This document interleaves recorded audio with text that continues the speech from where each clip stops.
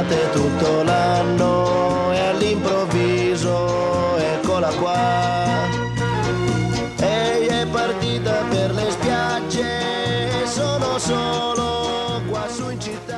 Alors franchement, quand, quand on arrive dans, dans, dans un domaine ici, dans le Piémont, qu'on déguste et qu'on aime tout, mais que vraiment tout est bon, là, la vie, elle ne peut pas être plus belle que ça. Elle ne peut pas. J'ai avec moi Maria Teresa. Comment ça va? Ça va bien. On est.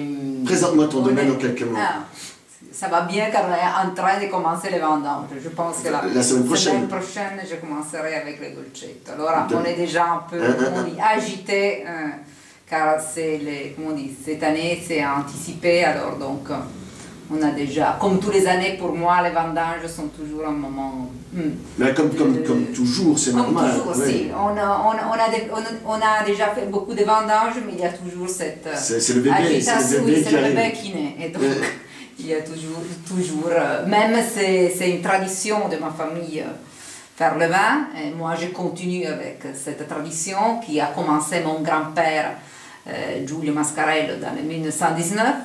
Et je continue, comme a fait mon grand-père et mon, grand, mon père, toujours euh, en gardant cette petite dimension, comme on dit, artisanale et familiale, euh, de 5 hectares, euh, 4 hectares dans le village de Barolo et 1 hectare dans le village de La Morra.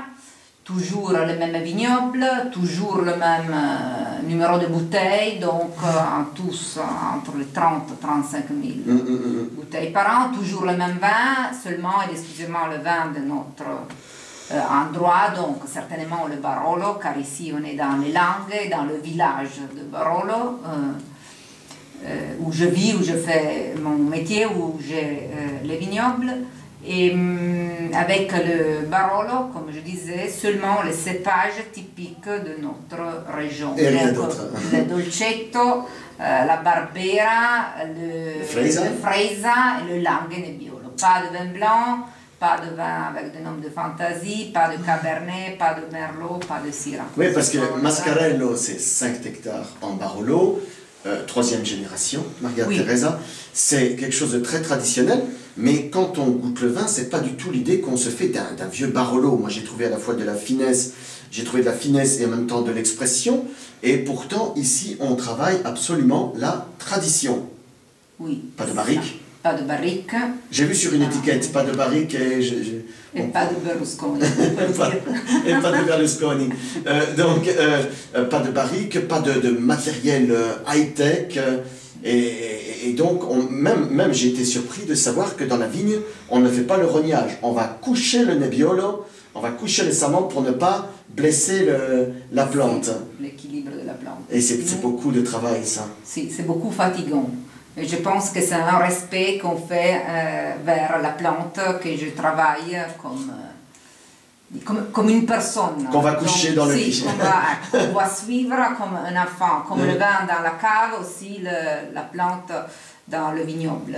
Mhm. selon moi, c'est très important et doit être toujours plus important pour tous nous, euh, avoir respect euh, de la nature, du, du- de, de l'endroit où on vit. Donc, pas de, donc, pas de désherbant. Pas de désherbants, Pas de pesticides. pas de pesticides, pas d'engrais chimiques et le soufre et le cuivre pour euh, la Pour la défense, protection, pour la protection euh, pendant. Et les vendanges à la certaines- Et les vendanges à la main, si beaucoup de travail sont faits à la main, nous n'aimons pas les technologies ni dans, la, dans le vignoble, ni dans la cave, ni dans le bureau. En effet, je dis toujours qu'on vit et on travaille aussi sans Internet et sans email.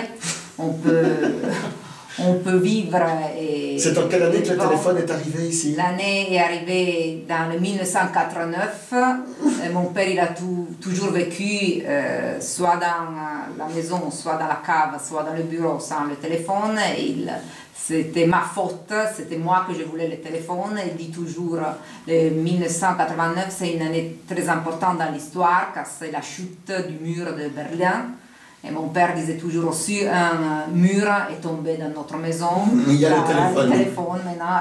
euh, Depuis le 1989 aussi, il y a le téléphone, après les fax, et ça sont les nouvelles technologies. Donc c'est toujours, euh, ben, ça c'est une... C'est aussi une Euh, tradition, tradition eh, c'est une défense contre la, la come on dit, la, la, la, la- il correre, le- le- le- la course du temps. Mm. Euh, faire le vin, pour moi, euh, je me trouve bien dans cette dimension, car on doit respecter la nature, les temps de la nature, les temps de vin. Et ce n'est pas le marché qui nous impose euh, les temps. Donc, euh, moi, je n'aime pas vivre avec vitesse, Mm. j'aime la lenteur. Et comme ça, je respecte la lenteur euh, de vin, la lenteur aussi de la, De- des et- plantes. et de la vie, et de la vie. de la vie. Alors- je n'aime pas être pressée dans ma vie de, de, De vigneron. de, de- de vigneron, mais de, de causes extérieures. Mhm. Donc, euh, comme par exemple le marché. On a, on a aussi sur, euh, chez Mascarello des étiquettes qui sont très particulières, que je trouve très jolies, et elles ont une histoire. Oui. C'est suite à la maladie de votre père qu'il a commencé à dessiner, Oui, c'est comme ça. à personnaliser, ça. et j'ai même été surpris de savoir que dans les cartons qu'il vendait à ses clients, il y avait toujours une bouteille qu'il avait décorée personnellement.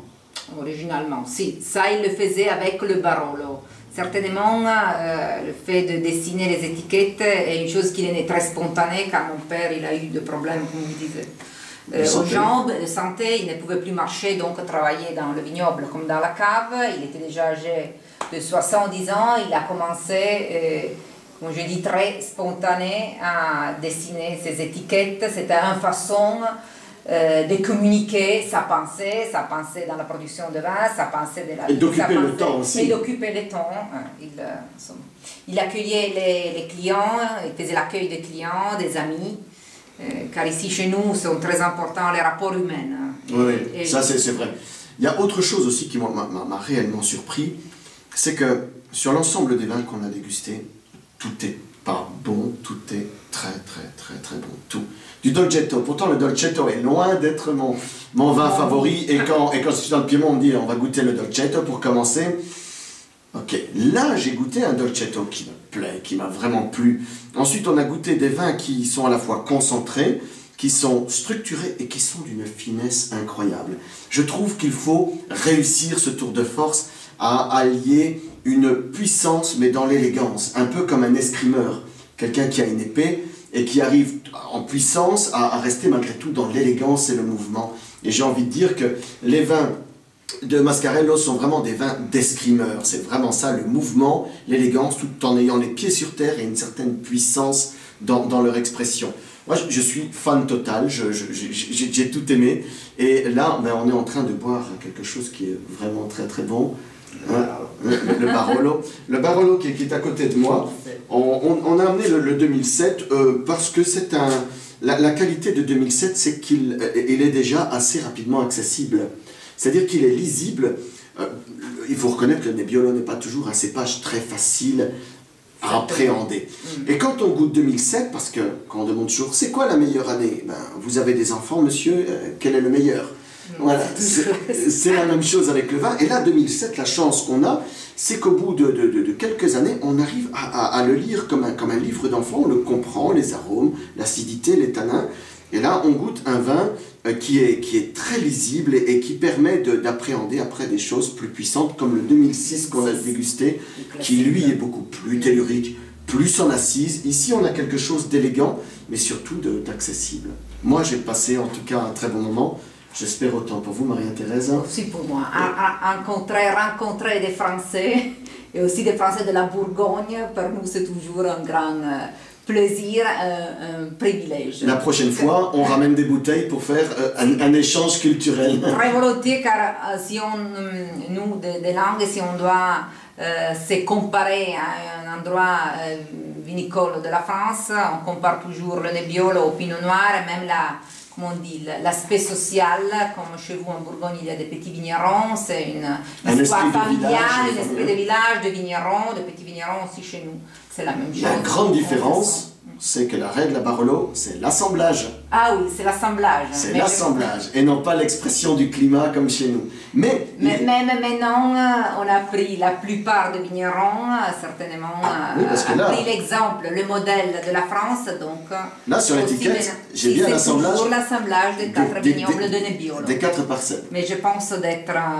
On est très peu, et les vignerons qu'on met encore tous Mon cousin. Maintenant, mon cousin, oui.